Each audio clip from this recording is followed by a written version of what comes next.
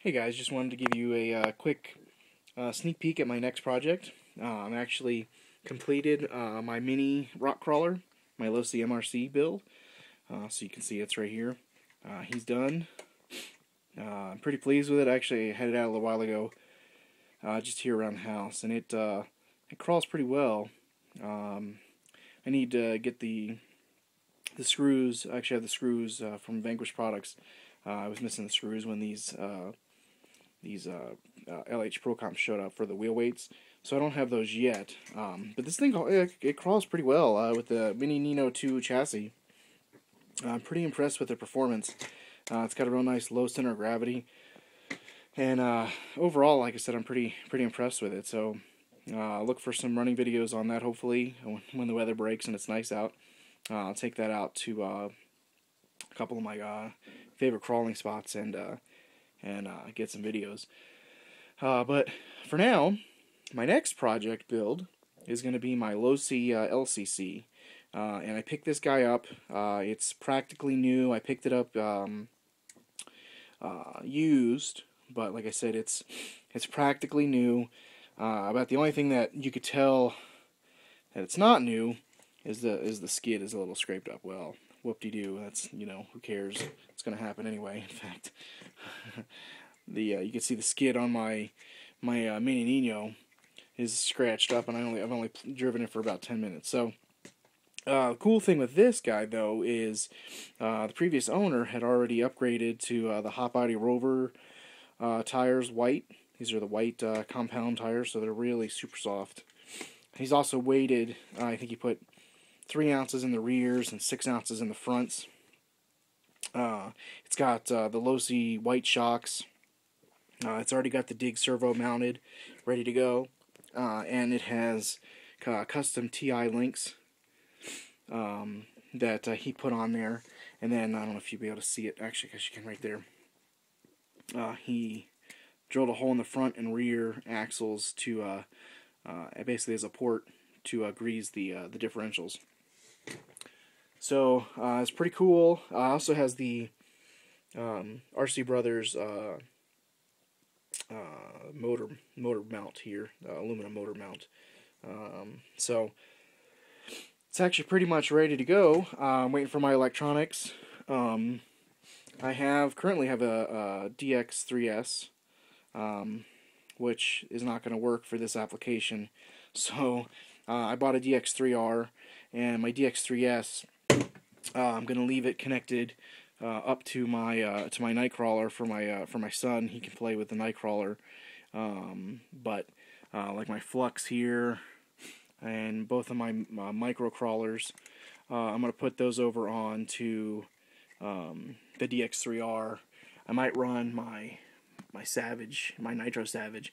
I might actually leave that on the 3S because honestly, I'm not re- probably really going to drive this a whole lot now that I have the Flux. I mean, Is just it's awesome. So, uh, and then the Mini Revo, of course, with uh, all its aluminum upgrades and uh, whatnot. I'm gonna move that over to the DX3R.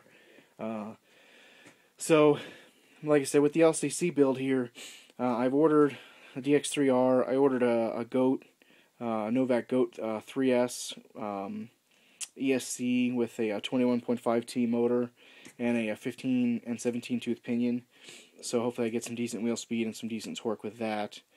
Uh, and then here on the table on my CalRC mat, which is awesome by the way, especially for all the builds I've been doing, the thing rocks. Um, it uh, so on the table here I've got the uh, the front uh, hub and spindle carriers. These are aluminum Losi. Uh, and then uh, I've got the um, aluminum steering servo mounts here. And then I have the rear hub set. Again, these are the uh, aluminum C ones. And then these are the TINI uh, steering pins. Basically, what those where those go. I don't know if you better see it here or not, but there's a pin right here, right there. This guy right here. Okay, those are actually those pins right there for the front and uh, for the front hub and spindle. It just it pins those together.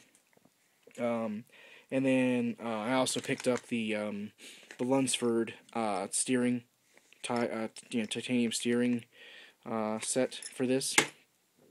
Uh, I also, when I ordered the DX3R and the GOAT, I ordered a, a Hitec steering servo, a 7950 uh, steering servo, and a Castle Creation BEC, so that I can run the steering servo at uh, excuse me, the steering servo at 7.4 volts, um, which means I'll get about almost 500 ounces of torque out of that guy.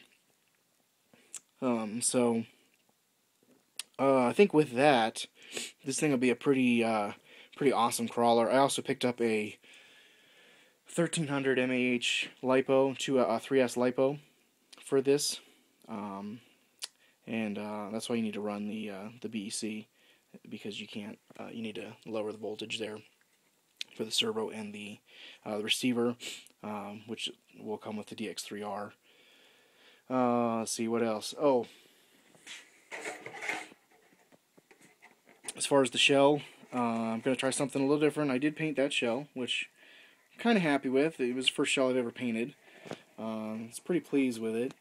But with this one, I'm going to try to be a little different. Uh, I'm going to paint basically the sides of the shell here black. And then you can see I pre-marked out with a, uh, with a Sharpie. Uh, everything in the black is going to be red.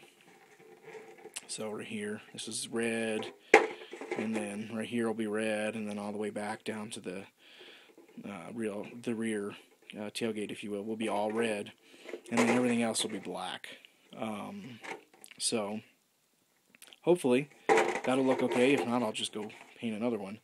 Um, but uh, you know, it was pretty easy to do my first paint job. This one I'm actually going to have to mask out with liquid mask, and I picked up. Um, I picked up some Bob Dively uh, liquid mask, uh, which will be the first time I've ever messed with this stuff. So um, hopefully it won't be too much of a pain in the butt to work with. Um, I also have, uh, these are running the regular Losi wheels, uh, and I've ordered the same uh, Vanquish Products uh, Pro Comp um, wheels that I ordered for my mini for my mini rock crawler. Um, uh, same uh, wheel color and beadlock color, silver wheels uh, with the black beadlocks. Uh, these are the LH Pro Comps from Vanquish Products, and I ordered the DH Pro Comps uh, from Vanquish. Uh, both will have the same set of wheel wheel weights, so I'll do six in the front, probably on the Mini, and six in the front on this one. Two in the back, two in the back on that one too. So I think that's it for now. I'm to start working on this guy this weekend.